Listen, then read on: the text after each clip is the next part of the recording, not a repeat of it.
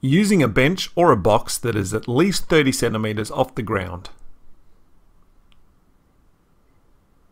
Place your bent knee on the edge of the bench or box and keep the other knee bent and out of the way.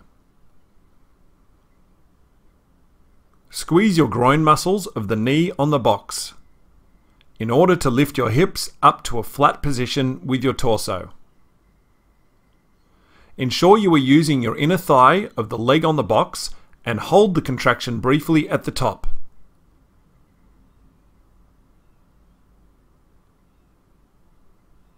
Continue until you have finished the set.